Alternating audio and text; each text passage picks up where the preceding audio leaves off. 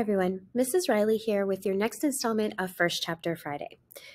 This video is being recorded during February, which is Black History Month, and so I wanted to share with you a book that is really important in our history and is often maybe not talked about enough.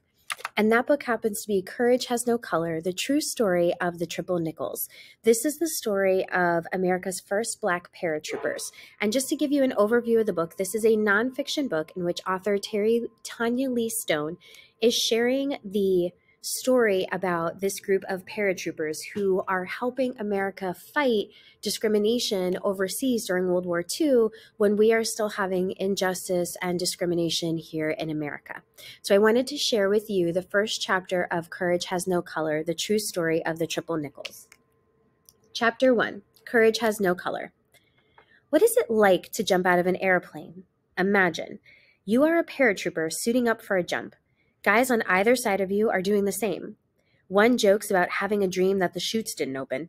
Another one says he's glad everyone paid their insurance. You stand strong, even though you are loaded down with a hundred pounds of equipment strapped to your body main chute, reserve chute, and combat gear. The jump master walks down the line, inspecting each of you, making sure you are properly fitted. Your life depends on it. The joking stops. The jump master commands, Load! In jump order, your line of troopers, your stick, climbs into the plane. You follow the trooper in front of you to your spot and sit. Now you are in the air on the way to the drop zone. You're chatting with your buddies above the noise of the plane. Puke buckets are always on board, but you don't need one today. 20 minutes from the drop zone, it's time to get serious. The red warning light near the door turns on. The jump master stands and shouts, Get ready! He walks down the line, alerting each jumper with a word in the ear and a touch on the shoulder, making sure each and every man hears him. You shuffle forward, sticking close to the man in front of you. The man in back of you does the same. You watch as the troopers in front of you follow each command, quickly disappearing one by one out the open door of the plane. And now it's your turn. Stand in the door! Nothing separates you from the sky but one last sliver of floor. The tip of your left boot hangs slightly over the edge. The wind whips. The white is blinding bright. Adrenaline pulses through you. You look down at a brown and green patchwork quilt of open fields and thickets of trees. The roar of the engine pulses with the pounding of your heart. You're over the drop zone. It's time.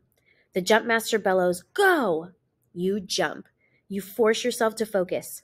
Count 1,000, 2,000, 3,000. Your hand is on the reserve chute, ready if you need it.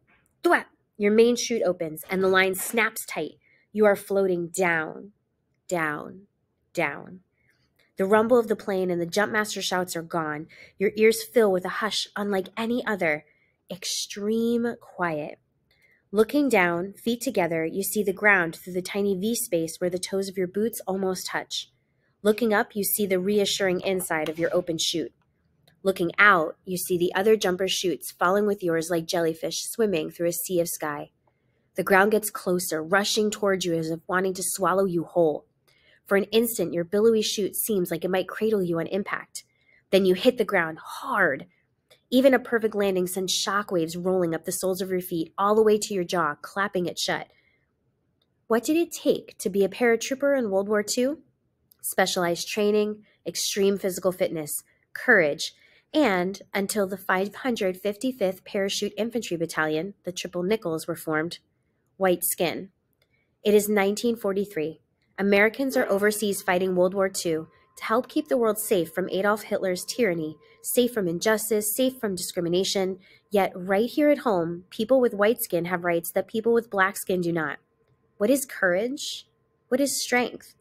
Perhaps it is being ready to fight for your nation, even when your nation isn't ready to fight for you.